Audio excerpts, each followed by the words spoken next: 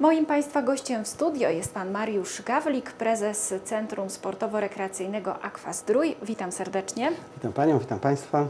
Panie prezesie, no dzisiaj już można e, oficjalnie powiedzieć półmetek wakacji za nami. E, Jak ten pierwszy miesiąc wakacyjnej przerwy przebiegał w Aqua Zdroju? Oj, Bardzo intensywnie, ale nie tylko w Akwazdroju, bo współuczestniczymy w organizacji wakacji w mieście, e, sportowych wakacji w mieście, gdzie praktycznie na wszystkich obiektach nowo wybudowanych, szkolnych, e, boiskach sportowych są trenerzy osiedlowi, którzy organizują e, współzawodnictwo i rywalizację. Dzisiaj e, nawet mamy taki turniej e, na półmetek, turniej piłkarski na półmetek właśnie e, wakacji. Oprócz tego e, w samym Akwazdroju e, już e, sześć, e, w zasadzie siedem e, edycji półkolonii zorganizowanych e, dla e, dzieci i młodzieży, e, półkolonii pływackich z językiem angielskim, półkolonii na sportowo, które cieszyły się bardzo dużą e, popularnością i myślę, że co fajne to za zadowoleniem dzieciaków, bo e, wracają. Mamy jeszcze na, drugim e, miesiącu, w sierpniu jeszcze e, trzy edycje, praktycznie są już e, wypełnione. E, Tworzymy listy rezerwowe, być może jak będzie dużo e, chętnych jeszcze na tych listach rezerwowych, to jeszcze jakiś jeden turnus uruchomimy, także e, dzieciaków cały czas stało, sta, stałych takich, którzy byli mm, bardzo dużo, oprócz tego no, sam basen też cieszył się bardzo dużą popularnością już od godzin polarnych, ponieważ w tym roku zaproponowaliśmy młodzieży, żeby wcześniej wstawali, będą wtedy mieli tańsze bilety, m, korzystają z tego i, no i też tych dzieciaków, e, no i nie tylko, bo również dorosłych e, na basenie w pierwszym miesiącu e, bardzo dużo. E, Za nami już wiele dużych imprez sportowych, a jeszcze więcej przed nami. Już najbliższy weekend, czyli sobota, niedziela, wielkie wydarzenie koszykarskie w Akwazdroju. Zmierzy się reprezentacja Polski z Czechami. No i będziemy mieli okazję zobaczyć w akcji Marcina Gortata. Tak, no, e, można powiedzieć, że w, tym, e, w ten weekend jesteśmy stolicą Polski, koszykarską stolicą Polski, bo z jednej strony mamy mecz międzypaństwowy właśnie Polska-Czechy, jest to mecz towarzyski, ale bardzo ważny, bo przygotowujący e, naszą kadrę do finałów e, Mistrzostw Europy. Nasza drużyna reprezentacyjna tutaj przebywa już praktycznie prawie drugi e, tydzień właśnie przygotowując e, się do e, tego turnieju. W roku ubiegłym byli, przygotowywali się i e, no, e, No właśnie, dlatego ta wizyta nie jest przypadkowa, po prostu Tak, byli to- zachwyceni rok temu. Zachwyceni, z drugiej strony dobre wyniki osiągnęli właśnie awansując do finałów, no i teraz powtarzają e, ten model przygotowań. Właśnie zaczynają w Wałbrzychu takim dużym, ważnym takim e, przygotowaniem e, fizycznym. E, No i pierwszy sparring właśnie u nas, pierwsze dwa w zasadzie, bo jeden e, pa- sparring otwarty, e, otwarty mecz dla publiczności w sobotę o godzinie e, 13, natomiast w niedzielę będzie ten, ten mecz zamknięty, też Polska-Czechy. Ale oprócz meczu międzypaństwowego, na który gorąco zapraszam, można jeszcze bilety kupić i to albo w Akwazdroju lub poprzez portal Abilet internetową e, sprzedaż. Natomiast oprócz e, samego meczu e, pierwszej reprezentacji e, przez dwa dni na parkingu przy hali będzie rozgrywany turniej eliminacyjny Mistrzostw Polski e, 3 na 3 Jest to taka ta dyscyplina koszykarska łącząca streetball z koszykówką tą taką tradycyjną. Drużyny trzyzespołowe specjalnie na, e, parki, na, na, na e, parkingu bo teraz budowane są takie e, boiska koszykarskie, e, także warto na pewno przyjść, zobaczyć, warto skorzystać z, w tym okresie z basenu, pooglądać e, najlepszych koszykarzy e, naszej reprezentacji z Marcinem e, Gortatem e, na czele, ale tak jak tutaj e, reprezentacja podkreśla, dzisiaj to nie jest e, Marcin Gortat, dzisiaj jest reprezentacja Polski, e, jest to drużyna, e, jest to e, taki e, zespół zawodników i, i, i nie jest tutaj Marcin Gortat najważniejszy, najważniejsze jest to, żeby oni właśnie się e, przygotowali jako reprezentacja i by osiągnęli dobry wynik na Mistrzostwach Europy. Ja bardzo na to liczę, bo to też byłoby takim, myślę, sumptem do tego, że, że nasz obiekt, no, w naszym obiekcie można się dobrze przygotować, że jest to obiekt szczęśliwy. A powracając jeszcze do turnieju 3x3, e, wspomniał Pan, że to nowa właściwie dyscyplina sportu, zapewne bardzo widowiskowa, bo streetball przynajmniej takim widowiskowym sportem jest. E, Mogły się zgłaszać drużyny chętne do wzięcia udziału w tych eliminacjach. Czy listy startowe już są zamknięte, czy jeszcze ktoś na ostatnią chwilę może się zapisać? znaczy są to, to są e, zawody ogólnopolskie Mistrzostw e, Polski, także uczestniczyć mogą zawodnicy, którzy są zawodnikami licencjonowanymi Polskiego Związku Koszykówki i takie zespoły właśnie e, do tych rozgrywek, do tego turnieju się e, zgłaszały. Jeszcze chyba można się e, zgłosić, do, do, ale muszą to być zawodnicy, którzy posiadają licencję e, zawodnika i są zgłoszeni do Polskiego Związku Koszykówki jako zawodnicy uprawiający tą dyscyplinę sportu.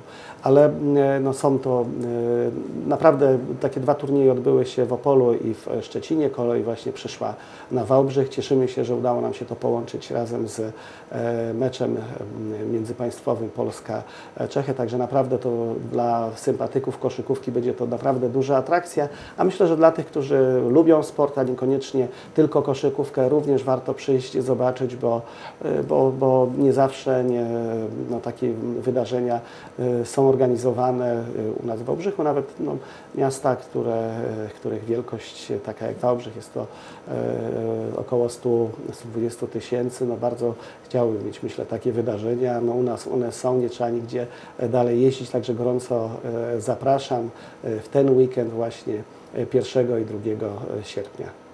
A jakbyśmy mogli dla wszystkich laików rozszyfrować to 3 na 3? O co w tym chodzi? 3 na 3, czyli trzech zawodników gra. E, Drużyny składają się, są trzyosobowymi zespołami. Tradycyjny streetball to jest dwóch na dwóch, natomiast tu jest e, 3 na 3. E, Tutaj w tradycyjnym streetballu nie ma sędziów, e, tutaj sobie zawodnicy sami sędziują, natomiast e, w e, rozgrywkach 3 na 3 są już e, sędziowie, czyli już jest ta taka otoczka e, bardziej profesjonalnego wyłaniania e, i takiego bardziej e, już to jest to, są to rozgrywki, które są e, mm, rozgrywkami oficjalnymi prowadzonymi przez Światową Federację e, Koszykówki, Europejską Federację Koszykówki, także są w tych dyscyplinach organizowane Mistrzostwa Europy, Mistrzostwa Świata. E, e, U nas e, pan Noculak, trener Noculak zajmuje się tą dyscypliną sportu. Jest to też no, uznany autorytet koszykarski, jeśli chodzi o polską koszykówkę, ale również koszykówkę amerykańską. No i e, on, kiedy rozmawialiśmy z nim jeszcze właśnie w roku ubiegłym, mówił, że właśnie jest to bardzo dynamicznie rozwijająca się dyscyplina sportu i myślę, że dyscyplina, która będzie no, taką przyszłością również e, właśnie w tej koszy, w, w tradycyjnej koszykówce, będzie tą dyscyplinę koszy, koszykówki jeszcze bardziej e, promowała.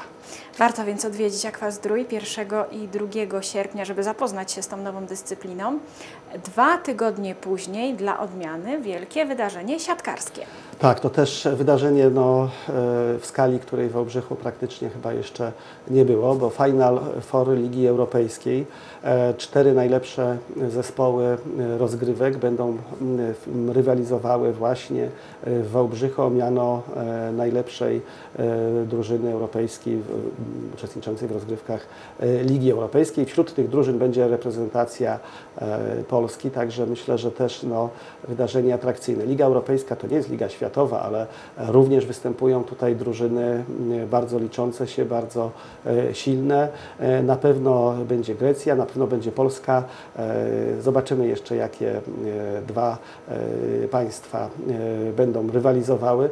Myślę, że wydarzenie siatkarskie w takim trochę już e, może m, m, okresie przedligowym e, warto przyjechać. Myślę, że doskonała e, zabawa. E, Widowisko będą prowadzili osoby, które prowadzą e, rozgrywki Ligi Światowej, także na pewno będzie, e, będzie e, dobra zabawa i emocje, duże emocje sportowe. Dwa dni, 13 będą to półfinały, czyli mecze dwa mecze e, o awans e, do ścisłego finału, natomiast 14 będą dwa mecze, mecz o trzecie miejsce i mecz o pierwsze miejsce. Bardzo chcielibyśmy, aby właśnie w finale e, była reprezentacja Polski. Liczę na to, że kibice e, przybędą, przyjdą i będą dopingowali, pomagali naszej reprezentacji osiągnąć kolejne trofeum, kolejny e, sukces siatkarski. I tak powoli zbliżamy się ku końcowi sierpnia. 23 sierpnia po raz 16 na ulicę Wałbrzycha wyruszą biegacze, by wziąć udział w 16 już Toyota Półmaratonie Wałbrzyskim. E, Jak będzie w tym roku przebiegała trasa i ilu zawodników już się zgłosiło? Bo wiem, że chyba będzie pobity rekord. E, Myślę, że tak, że na pewno będzie pobity rekord, bo mamy już zgłoszonych e, 1825 zawodników, jak ostatnio e, patrzyłem. Tyle było na liście e, startowej. E, Myślę, że około 2000 zawodników wystartuje. E, Trasa będzie podobnie jak e, w latach minionych e, przebiegała ścisłym centrum naszego miasta, czyli pokazujemy tutaj najlepsze, najładniejsze miejsca naszego, naszego miasta. Będzie to rynek, plac magistracki, będzie trasa biegnie i biegacze będą biegli koło hali lekkoatletycznej, koło Parku Sobieskiego, Amfiteatru Teatru Dramatycznego, koło Kościoła Matki Bożej Bolesnej, e, k- Kościoła Aniołów Stróżów, e, e, będzie koło pomnika e, trudu górniczego. Także myślę, że takie fajne, ładne miejsca i zawsze jak zawodnicy, którzy przyjeżdżali do tej pory do Wałbrzycha, no to byli pod dużym wrażeniem właśnie urokliwości właśnie naszej trasy. O ile mówili, że jest ona trudna do biegania, to jest to bardzo urokliwa, uro- urokliwe miejsce. Byli zaskoczeni właśnie, bo ci, którzy pierwszy raz odwiedzali Wałbrzych, no, nie myśleli, że, że Wałbrzych to tak wygląda, że Wałbrzych to jest piękne, zielone e, miasto. Zawsze to kojarzyli bardziej z miastem e, górniczym. Także e, wracają, bo tak jak w, rokach, w latach minionych mieliśmy, mamy przyrosty praktycznie po kilkuset zawodników więcej, także zawodnicy, no, podoba im się chyba i trasa, i organizacja, i atmosfera tego biegu. Bardzo staramy się, aby właśnie no, wszyscy ci, którzy przyjadą, byli zadowoleni, żeby pobiegli e, i żeby e, no, wracając później do swoich e, domów, do swoich e, e, miast, mieli dobre wrażenia z Wałbrzycha. Wydaje mi się w ogóle, że w Polsce zapanowała taka moda na bieganie. Tych imprez biegowych jest coraz więcej. Każde miasto stara się o to, żeby być organizatorem chociażby półmaratonu, maratonu bądź choć drobniejszych imprez. W czym tkwi fenomen biegania?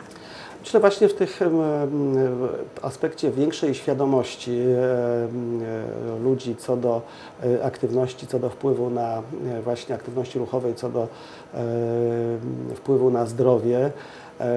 Jest kilka motywacji, ale tak e, jak ostatnio w badaniach pokazywały, to taką największą, najważniejszą motywacją to jest jednak to, żeby utrzymać wagę, żeby osoby, no, żeby utrzymać sylwetkę i te, te aspekty właśnie związane z, e, z odchudzaniem, z e, utrzymaniem wagi. Z drugiej strony, jak ktoś już spróbuje, to no, endorfiny, które się tworzą podczas biegania, powodują, że no, jest to taki aktyw, który się chce kontynuować, że po tym się lepiej czuje, człowiek jest trochę e, mm, lepiej, e, lepiej odbiera e, świat, ma trochę więcej optymizmu i, i, i myślę, że to jest też taki argument, że, e, no, że, że, że ludzie zaczynają biegać. Faktycznie e, zdrowie i lepsze e, samopoczucie to jest kolejny argument. Dwa to jest e, też atmosfera, to jest spotkanie się e, z ludźmi. A bieg, bieg, bieganie to jest najprostsza forma ruchu. Tutaj e, wystarczy założyć dobre buty i tutaj polecamy, żeby to były dobre, dobrze amortyzujące buty, koszulka, spodenki i już można, można uprawiać sport. Nie trzeba tutaj nie rezerwować godzin, czy to na sali, czy na korcie. Zawsze w momencie, kiedy no, ma, ma się chwilę czasu, można wyjść, można e, pobiegać i spędzić czas e, aktywnie. Także to e, myślę, że, że, że mm, to są takie główne argumenty. Jeśli chodzi o faktycznie te, ta ilość imprez biegowych się zwiększa, nie wszystkie imprezy mają obecnie już przyrosty, jeśli chodzi o ilość uczestników. E, e, Dlatego tutaj nas cieszy, że właśnie, że, że, że u nas nam udaje się no, co roku mieć coraz więcej e, startujących. Cieszymy się, że jesteśmy w koronie półmaratonów. E, Jako nasz bieg został zakwalifikowany do, takiej, e, do takiego cyklu właśnie biegowego i tutaj są wybrane te właśnie e, takie lepsze półmaratony e, w Polsce, także to nas też, też e, cieszy, ale generalnie ja gorąco zapraszam właśnie do wzięcia udziału, oprócz samego półmaratonu, czyli dystansu e, biegu e, półmaratońskiego. Mamy również bieg po zdrowie, taki na 7 km, to jest dla osób początkujących, którzy wys- mogą wystartować, e, mogą e, spróbować e, poczuć tego bakcyla właśnie e, zawodów e, sportowych, bo to jest też e, no, niepowtarzalny taki element. To wydaje się, że się no, startuje z grupą osób, biegnie, przybiega i no, czym to się różni od normalnego biegania? No jednak się różni, jednak taka atmosfera, radość i powoduje, że jak ktoś raz wystartuje, to później już faktycznie chce to e, powtarzać i chce startować w innych, w innych biegach. Do tej pory triumfy święcili głównie Kenijczycy w naszym półmaratonie. Tak, bo bieg e, przyciąga też e, uznanych e, sportowców i osoby, które uprawiają tą dyscyplinę sportu bardziej profesjonalnie. Natomiast my tutaj nie koncentrujemy się na faktycznie tym wyniku sportowym. Nie mamy najlepszych, tam najbogatszych nagród dla zwycięzców. Wręcz przeciwnie, może Toyota, która jest, Toyota Aygo samochód, który jest do wylosowania, może wylosować każdy. To nie, nieważne, czy będzie pierwszy, czy będzie e, ostatni, Ale czy będzie w środku. bieg. Trzeba, warunkiem jest tylko ukończyć bieg. Jest też tak, że to dotyczy również biegu na 7 km, także nie jest to półmaraton tylko. E, Chcemy, żeby każdy, kto zmierzy się z dystansem, kto pobiegnie, miał taką e, szansę. E, m, Te nagrody, atrakcje dodatkowe, oprawa. No chcemy, żeby właśnie nie koncentrować się pod kątem zawodników, tych takich najlepszych, którzy właśnie czasami zawodowo, czasami dla e, nagród finansowych e, startują. Tutaj zależy nam na właśnie startujących, na, na większej masowości, na właśnie przekonywaniu do tego, że, że warto jest e, biegać, że warto spędzać czas aktywnie i bo to jest to dla, z korzyścią dla zdrowia fizycznego, dla zdrowia psychicznego.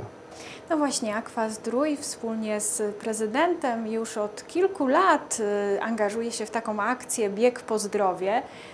Y, To nie tylko właśnie półmaraton, ale biegać z Państwem można właściwie przez cały rok. Tak, mamy właśnie taką akcję Biegaj, zapobiegaj, dokładnie ona się e, nazywa. Co sobotę o 9.30 spotykamy się e, przy hali lekkoatletycznej. Zajęcia prowadzi pan e, Roman Magdziarczyk albo pani Justyna e, Oleksy, czyli tacy e, no, osoby, które mają bardzo dużą e, wiedzę. Z drugiej strony takie osoby, które przyciągają do siebie innych biegaczy, mają dużą wiedzę i właśnie już jest też taka grupa osób, która przychodzi, która można uzyskać jakąś informację co do biegania, co do techniki, co do ubioru. To są te informacje. Natomiast właśnie półmaraton jest takim finałem tej akcji całorocznej e, Biegaj, zapobiegaj, bo biegamy przez cały rok. Również w zimie korzystamy z tego, że mamy w Wałbrzychu właśnie halę lekkoatletyczną, duży obiekt, który, którym można też e, uprawiać lekkoatletykę również e, e, w zimie. E, I ja też gorąco zapraszam wszystkich chętnych, którzy by chcieli rozpocząć, którzy by chcieli przyjść. Można e, co sobotę o 9.30 e, przy hali lekkoatletycznej. A wracając jeszcze do, do, do półmaratonu, to e, trasa przebiega praktycznie tak samo, natomiast będzie w tym roku drobna zmiana. E, Start będzie w rynku, a e, meta będzie na pl- placu e, magistrackim, a dlatego e, w tym roku tak chcemy zrobić, ponieważ właśnie ilość uczestników już jest tak duża, że w zeszłym roku mieliśmy problem, żeby pomieścić się z, e, na samym rynku już później przy zawodnicy, którzy przybiegali teraz miasteczko e, biegowe roz, będziemy chcieli rozdzielić na dwa miejsca, czyli plac magistracki i, e, i rynek. Także O tutaj której myślę, start biegu głównego? O godzinie 11. Panie prezesie, bardzo dziękuję za dzisiejsze spotkanie i za rozmowę. Na bieżąco oczywiście będziemy Państwu przypominać o wszystkich ważnych wydarzeniach, które będą miały miejsce w Akwazdroju. Yy, I pewnie z naszą kamerą będziemy nieraz gościć u Państwa. Bardzo dziękuję za dzisiejsze Ja spotkanie. dziękuję, zapraszam z kamerą, ale zapraszam również do e, biegania i e, korzystania z oferty Akwazdroju. Dziękuję. Dziękuję bardzo, dziękuję.